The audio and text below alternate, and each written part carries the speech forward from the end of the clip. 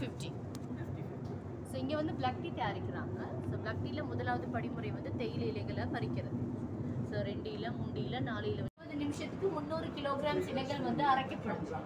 அப்படி அரைச்செடுத்த இலைகளை வந்து சல்லடை மிஷினில் போட்டு சலிப்பாங்க பெரிய இலை சின்ன இலை மீடியம் பவுடர்னு சொல்லி பிரித்து எடுப்பாங்க. பெரிய இலையாக இருந்தால் லைட்டாகவும் சின்ன இலையாக இருந்தால் ஸ்ட்ராங்காகவும் ஸோ ஒவ்வொருத்தவங்களுக்கும் வந்து இருநூற்றி எழுபத்தஞ்சு கிலோகிராம் இலைகள் வந்து காய வைக்கப்படுது. இது ரெண்டு தான் டீ இந்த குருத்தை மட்டும் வந்து இந்த தேயிலை மரம் வர குருத்து இந்த குருத்தை மட்டும் பறிச்சு காய வைக்கிறது தான் டீ பத்து கிலோவுக்கு ஒரு கிலோ மற்றது இது கிரீன் டீ இதை பார்த்தீங்களா ரோல் பண்ணிட்டு ட்ரை ட்ரை பண்ணனால இப்படி இருக்கு சுடு நீர் போட்டோம்னா இலை விரியும். ஆமா. இதுவெல்லாம் பிளாக் டீ பெரிய நார்மலாக நீங்கள் மில்க் டீ குடிக்கிறதா இருந்தால் பிஓபிஎஃப் தான். மில்க் டீனா சின்னதான் யூஸ் பண்ணுவோம் ஆமாம் நமக்கு பெஸ்ட் வந்து பிஓபிஎஃப் தான். பால் சீனி சேர்த்து குடிச்சும் கூட.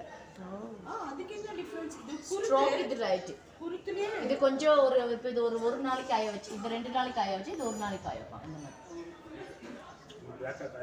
சில்வர் சினியா பாருங்க நல்லா எக்ஸ்பிளைன் பண்ணீங்க. சூப்பரா. டீ வாங்குறீங்களா? வா.